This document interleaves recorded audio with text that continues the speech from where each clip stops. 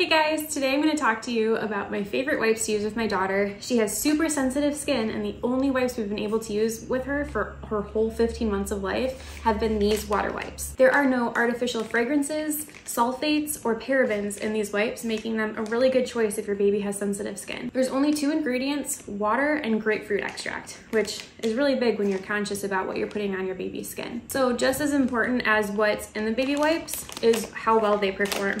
So I've never had an issue with pulling out a pack of these and having them be dry. They're always really nice and moist and they are a really decent size. As you can see, they cover my whole hand. These wipes are also pretty strong. I can't really even rip through them if I wanted to, which is really nice. So you don't have to worry about like poking a finger through when you're changing a poopy diaper. One of the biggest tests I do personally with wipes and things that I'm putting on my baby's skin is to first try them on myself.